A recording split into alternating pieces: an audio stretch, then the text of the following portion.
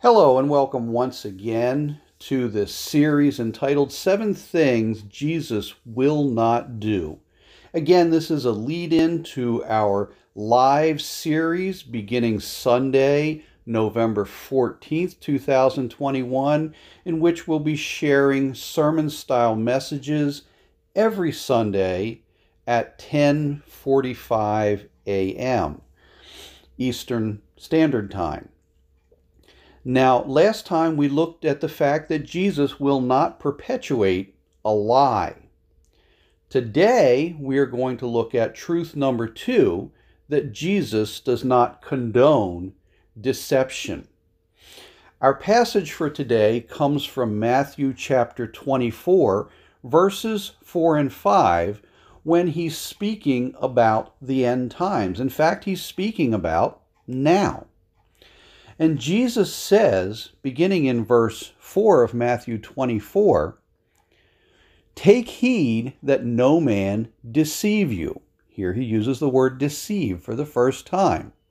For many shall come in my name, saying, I am Christ, and shall deceive many. The second warning for deception. He also says further on down in this same chapter, in verse 11, and many false prophets or false teachers shall rise and shall deceive many. Three times in a short period of time here in chapter 24, Jesus warns that in these last days there will be people who will be aggressively trying to deceive others. They will use any means necessary to claim that they are from God, they are of God, they are representing God, and they will take people en masse away from God, away from His teaching, away from His truth. Their goal is the same goal as Satan. In fact, many of them are serving Satan unwittingly by simply doing things that are anti Christian, anti Christ. We're warned in the New Testament that there are many antichrists running around at all times, even during the times of Peter and Paul and James and Jude and so forth. There were antichrists because anti simply means against. There were antichrists then. There will come the antichrist during the Great Tribulation.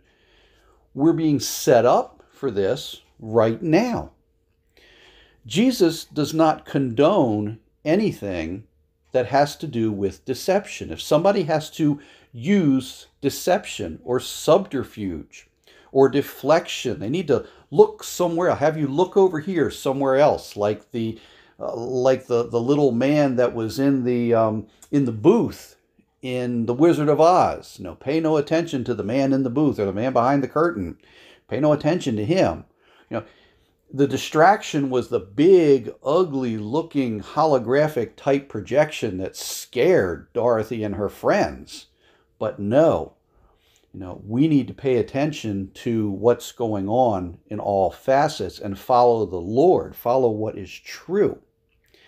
This is nothing new. Satan did this in the Garden of Eden in the Garden of Eden when he went to Eve. And notice he went to Eve, he didn't go to Adam because God gave Adam the direct command not to eat of the fruit of the tree of the knowledge of good and evil. He gave Adam that command. Adam then was responsible to give that command to Eve, which he in fact did.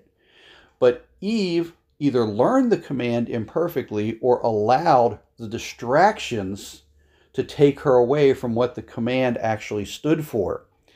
And Satan made ever so subtle changes in the command. First of all, he just flat out said God was a liar. He said, When you eat this fruit, you're not going to die. Instead, you're going to be wise. You're going to be smart. You're going to be like God. He's saying God's holding out on you. And that's often the argument that people use today God's holding out on you. But here's a better way. And that's the problem people are looking for a better way when God is the best way. Because Jesus said, I am the way, the truth, and the life. No man cometh unto the Father except by me.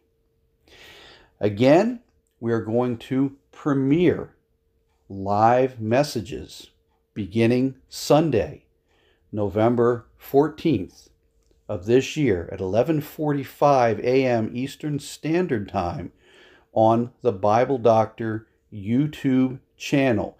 You can tune in as early as 11 or as early as 10:30 and if you do, you'll have some nice music to listen to and a screen that comes up and you can wait and enjoy that until the message comes forward.